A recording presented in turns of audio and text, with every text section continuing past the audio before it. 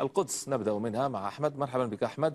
استمعنا إلى نتنياهو يتحدث تعليقا على ما يحدث من عملية في رفح. واستمعنا أيضا إلى غانس كل هذا قبل يوم من بدء المناقشات في العاصمة المصرية القاهرة والوفود وصلت إلى هناك. كيف هو الموقف بخصوص النقطتين المفاوضات بخصوص وقف إطلاق النار والعملية في رفح في تل أبيب؟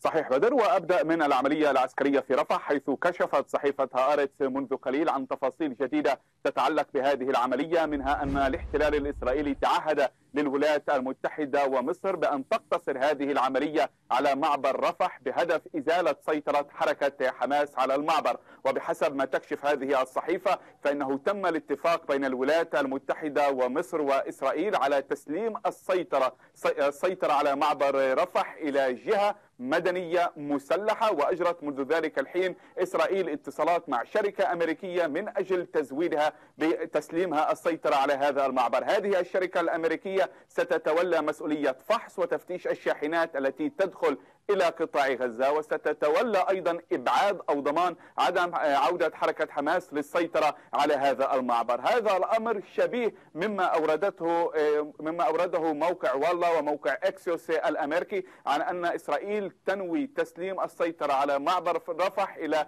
جهة فلسطينية. هذه الجهة الفلسطينية ليست حركة حماس وستتولى إدخال المساعدات الإنسانية إلى المعبر ومن ثم توزيع هذه المساعدات الإنسانية إلى داخل قطاع غزة. لم يذكر موقع والله الإسرائيلي من هي هذه الجهة الفلسطينية. يبدو أن الاتصالات التي يجريها الاحتلال الإسرائيلي وكذلك العملية العسكرية على الأرض تهدف بالأساس إلى نزع سيطرة حركة حماس على هذا المعبر والاقتباس لأحد المسؤولين الإسرائيليين الذي يقول لصحيفة هآرتس أن هذا المعبر هو آخر رمز لسلطة حركة حماس في قطاع غزة. بالتالي هي تسعى لسلبها من هذه السلطة. نقطة أخيرة تتعلق بمعبر رفح وهي نقطة رمزية فحسب. معبر رفح هو آخر معبر فلسطيني مع أي دولة عربية في المحيط. المعابر في الضفة الغربية تسيطر عليها إسرائيل. كان معبر رفح هو المعبر الوحيد بين فلسطين وبين أي دولة عربية والآن يسيطر عليه الاحتلال الإسرائيلي. فيما يتعلق بالمفاوضات بدر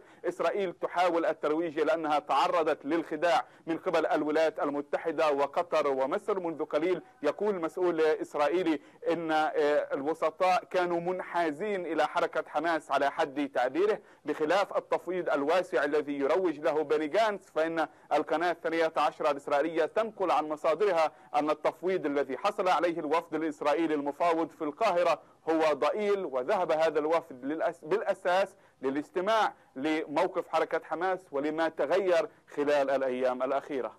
بدر؟